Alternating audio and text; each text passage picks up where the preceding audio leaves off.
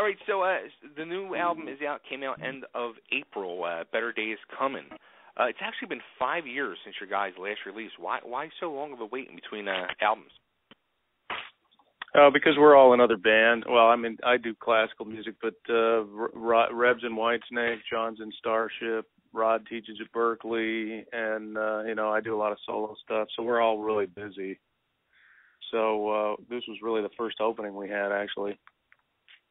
Now, how about that? Like, um, like this day and age now, where I mean, you guys all have different projects and all, and um, you know, back in the day, it was like unheard of. It was always, you know, it would be winger, and that was your focus, and it was kind of like almost like an unwritten rule, like you guys couldn't do these outside projects. It'd be like almost like frowned upon. Well, I mean, because you're so busy. I mean, we just, you know, when you have a when you have a record that you're pushing, and everybody, you know, you get a lot of comp the record companies behind you and stuff. You know, you gotta gotta make it happen. I mean, it's the same in this case. It's just the first time we had a chance to get together. You know, but I mean, this is the way it is now. I mean, if you look at right George Lynch or Doug Pinnick or you know the any of the guys, that, unless you're in a you know a really huge band that's always touring. I mean, everybody's doing side projects and stuff. So um intellectual property is not worth anything anymore, man. You got to keep going. Like you got to work. Yeah. You got to play live. So I mean, it's a whole different landscape now. Now, but how about that? Like, uh, you know, like back in the day, like you yourself. Um, I mean, you guys had that time where you guys were really big and uh, really busy. But deep down, did you ever have that want to do something beside the Winger project itself at that time?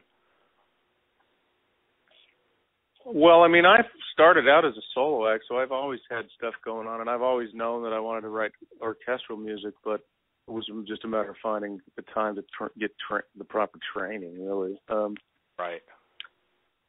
Um, we're all really diverse musicians. You know, we all.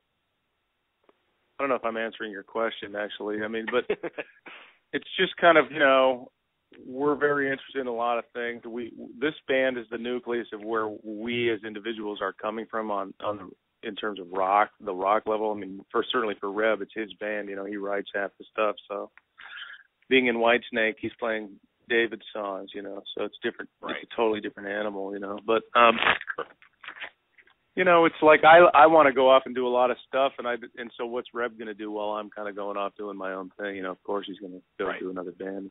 So, and it's really like I say, it's just the landscape of what's going on now. Now, how about um off the new album? Any tracks that are like your personal favorite? Not really. I mean, I just write. You know, I write the songs. The songs tell me how to write them. Kind of once you get a good idea, and they kind of lead you to the way they want to be, and then you just kind of, uh you know, um do your best at not screwing them up. Basically, I mean, trying to trying to uh, bring a idea to its best conclusion, kind of. You know what I mean? Well, I I got the uh the CD the other day, and I've been listening to it, and um the w- one song that really kept standing out to me, and I kept saying to myself, "Wow, this is just really a deep song." Is Ever Wonder? Oh, thank you very much. I appreciate that. That's uh that's me and headed for heartbreak mode, you know, that's the kind of uh that's the kind of tune that the the first opening melodic fragment, you know, kind of hit me and I just was like, okay, how don't I fuck this up basically, you know. so I I really tried to uh it's very for me music writing uh, composing music is just um you have to kind of touch the keyboard and then walk away you know you have to walk away a Right. lot really i mean you Right. you- are you a musician you sound like you're a musician Yeah, yeah. I play a little bit of guitar, but uh I suck at it. well i mean so you get it so it's like you know you you get you just it, handling a good idea with great care is really the most important thing um it's Right. easy to believe in that all your ideas are great and all this kind of stuff and it's like it's that's the easy part it's not easy to self edit and and and really try to be really sober about you know if the ideas really are good and live up to an inspiration because I mean, I don't care who you are. All best ideas come by accident. So no Yeah. matter if you're Einstein, the idea is just going to fly into your head from the universe. You're never going to sit there and invent a great idea. It's just going to hit you, you know. So the, the the whole game is to try to ride the inspiration as far as you can before it fades away because it inevitably fades away. That's what music is. It's like trying to ride lightning. Right. And it's usually like in the shower when those good ideas come to you.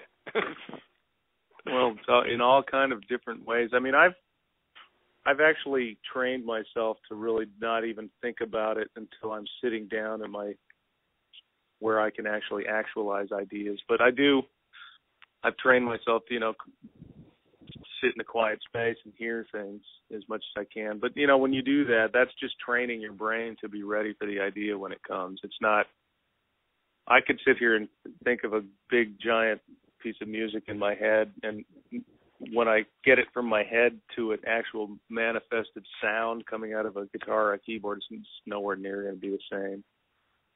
You know? Now, how about like the lyrics though for that song? Ever wonder like did, after you wrote that, did, did you like go back and look at those lyrics and be like, that that's pretty pretty deep, man? Well, it's it's it's by it's autobiographical. So I mean, I was very conscious in writing those words, and you know about it's kind of you know betraying the ones you love and and uh you know facing yourself and as you get older kind of wondering all the things that you thought about yourself if they're true or if you're just bullshitting yourself kind of right. So the lyrics it's different for me with lyrics. I mean i have to sit down and consciously think of them. And then maybe a line will pop in my head but i'm not a lyric oriented writer. I, lyrics are very difficult for me and i have to really work at it to make them valid. And i mean i farm out a lot of the words actually at this point because i don't really have many songs like midnight driver in me anymore. So you know i use i use a couple of very trusted lyricists to help me on stuff. Wow. Now, how about uh also too like you have uh three videos off the new album, which personally I was like yes because I feel like almost like you know today it's even more important for bands to be making videos for their songs for promotional with the whole you know YouTube explosion. I think I think it's more valuable now today than it was back in the day. I completely agree. So, you know, we made five videos. There's a Better Days Coming video that not my favorite. Um it's on the DVD package and then we are still working on Queen Babylon and we we actually want to do So Long China and Ever Wonder. Uh we've got a lot of requests. I mean, I had a personal feeling to do Ever Wonder as a video. So, Nice. um I think YouTube's the whole game in music now. I mean, people want to go there and watch this, watch watch this stuff. You know. Yeah, it's funny because like like some bands I'll I'll interview they're like uh uh, like there's there's a a kid band out of uh New York area called Giffords Lane and every time we've interviewed them I mean these are like young kids and they'll put uh their new releases out and they every time I talk to them it's like yeah we just released this on YouTube and then they'll get like a million hits on it and I just think to myself like wow like this is gonna be like the way of the future everything's just gonna be like I released It already is. Well, it already is the way of the future. It's the own game, dude. I mean, you can, and then you monetize, and there's a. It's the money is just there's no money in the business anymore really to speak of unless you're huge.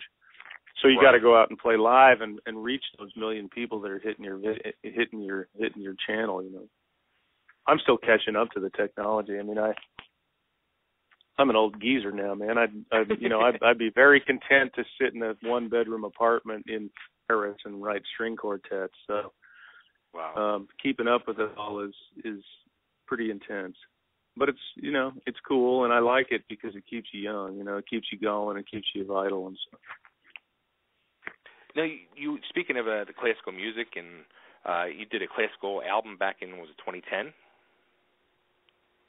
I did i i wrote a ballet for for uh san francisco ballet and i released the recording of it um and then i wrote another piece full full symphony that's yet to be released called uh, Conversations with Nijinsky. And uh, I'm getting ready to work on a solo record, another solo record, and um, you know, hopefully not let five years go by between now and the next Winger Realm. Although Dave, uh, Reb's very busy with David Coverdale working on a new project now, so you know, we're lucky to be working basically. I was gonna say, how do you like uh like when you come up with songs? Do you sit there, you write a song, and is it pretty instant? Like, uh all right, well, this will be for Winger, or this will be for myself. Oh, um, um, I never do that. Reb and I sit down and we, you know, we write like if we're going to make a record, we don't come in with any new ideas. We sit down and we write this thing. Like Karma was written in 10 days, a song a day in the order that you hear them. Wow. Uh this one was written over a period of about 6 weeks and you know, we just come, you know, Reb's a great riff meister and I can supplement riffs real well and then I arrange and stuff and and it's pretty fast cuz we're really, you know, we've been together a long time and we know you know we know where we're going. And we know now what we are you know that's that was the biggest thing. There was a lot of years where we didn't really know what we were. Right.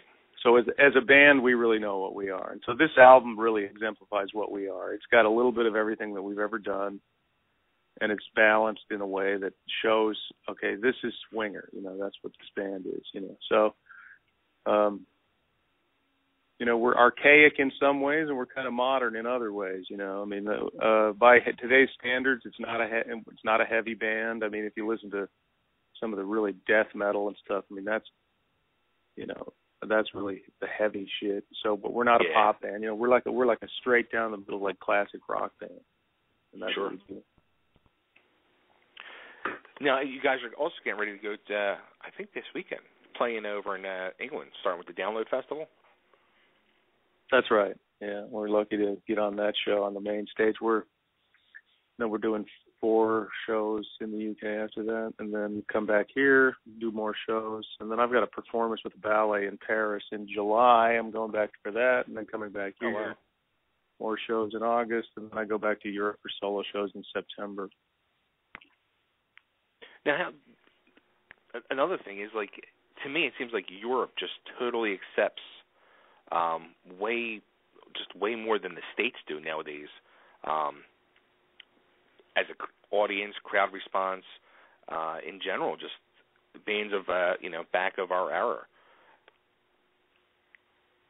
Well, I mean, you know, that's true, especially back in the day. It's true they're not as fickle as American fans, but nowadays, man, the internet has opened this whole thing up. So a lot of times, like you know, we just played in Dallas. We had a lot of young fans singing all the new music. Nice. We're not a big band, you know. We don't draw thousands of people, you know. We're kind of like a fine wine that you know, uh a- that ages gracefully, but we don't draw a lot of people, man. You know, we we but the people that we do draw know every single song that we do and they're really, you know, they're really into it. So, you know, we're Right. lucky to have that. Um I'd like to build the audience base, but I doubt it's going to happen just because um you know it's kind of set in stone what we are you know so unless i had like a brett michaels reality show or something like a like a, a you know a duck dynasty uh, you know Yeah, right. that's really the way that's really the way to make it now you know so we're just how about the- focusing it- on yeah. Would you do that? Would you, if you were offered some type of reality show, would you do reality TV? I turned down a bunch of them i'd do the right one i don't know i mean i don't mind it would have to be the right show Yeah. Yeah. I don't want to just. I'm not looking. I'm not looking to be famous just to be famous, dude.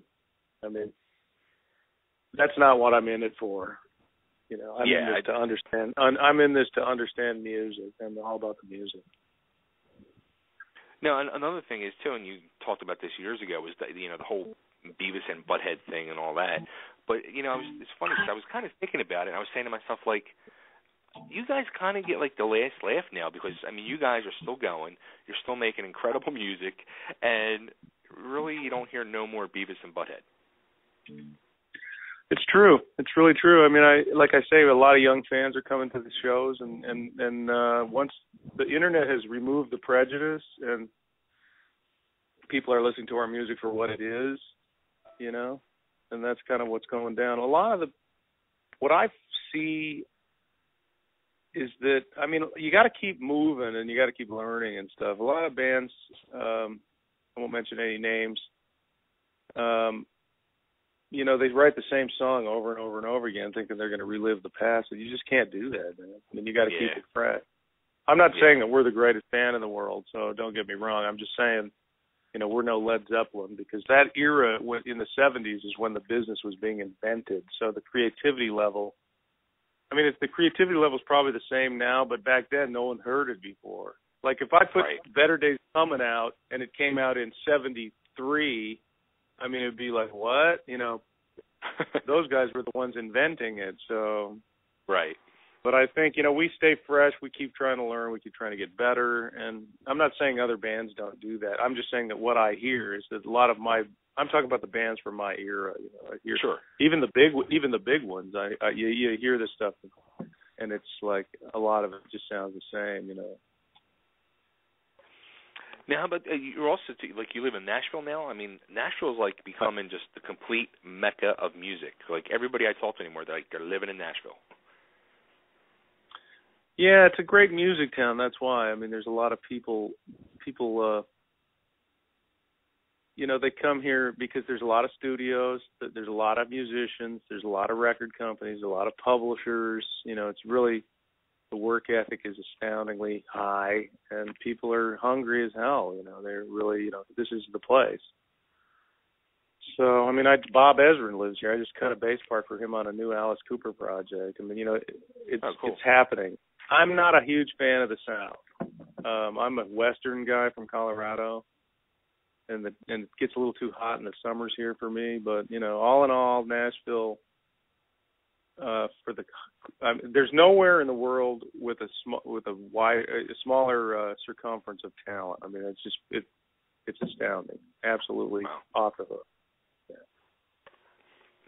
Now it was funny too because uh, when I started promoting that you were going to be on the show this week, um, I don't know if you remember. Remember the old Glow Wrestling from the '80s? Yeah. Yeah. Well, we had uh we've had a few of them girls on our show, and uh one of the girls, uh Roxy Astor, she was like, "Oh my God, Kip Winger, I love him. So make sure you tell him I love him." So I had to make sure I got that in there for Roxy. That's what's her name, Roxy. What? Roxy Astor. Well, we'll tell her I said hi. now, how- how was that like back in the day too, dealing with the whole heartthrob thing that you got pigeonholed into?